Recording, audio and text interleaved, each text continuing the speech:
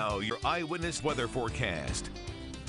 Welcome back. We're checking in with Stefano for our forecast. Some of us might be seeing some snow, but nothing major, just a couple of flakes. Couple of flakes here and there, a brief snow shower. That's really, if anything at all, in some spots. The cloud cover will be tough to break the entire day today. Temperatures, they're hanging out right around that freezing mark, but most areas are just above it, so that's why the road conditions, even if we see that snow shower, will be okay. Wilkes-Barre and Scranton, we're starting off at 36, Pottsville at 34, Selinsgrove at 37, Mount Pocono coming in right around 30. Let's just take a look at our radar. We'll take it out for just the, you know, area-wide view so we can get a good view of the snow showers that are trying to drop in from New York. Near Ithaca, just to the north of Elmira and Binghamton, that little batch of snow is what we'll watch over the next couple of hours. And elsewhere as of right now, it's just a few isolated flurries, if not a snow shower. We'll take satellite and radar out for a little bit of a wider view. It's this little disturbance that's coming through the atmosphere that it's making things just unstable enough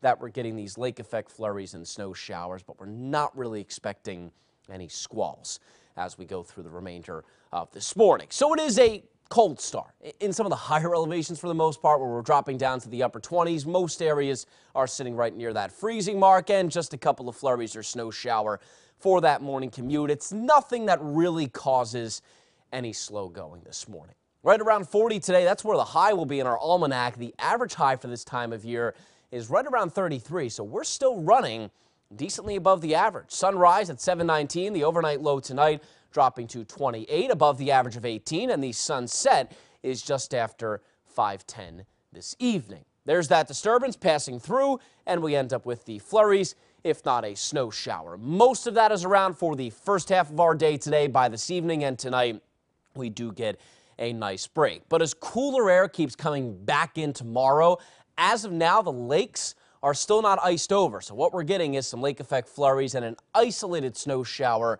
that we can't rule out tomorrow, but it really does look like just a cloudy day for the most part. But those clouds, they do break up. Midweek, we start to turn the corner. We'll get some good sunshine on Wednesday. It'll still be rather chilly, but seasonal for this time of year.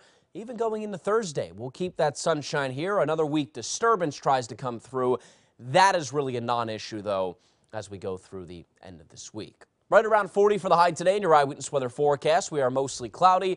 A snow shower mainly early, if not just a couple of flurries that'll be left over. 28 for the overnight low tonight, mostly cloudy and cold, and the wind will be at 5 to 10 miles per hour tonight. 38 tomorrow, mostly cloudy and an isolated snow shower that we're not ruling out. Wednesday, we start to get some sun back. That's with us through Thursday and Friday, so the second half of this week looks great. Saturday, Sunday, Cloud covers back. There is a coastal storm we're keeping an eye on right now.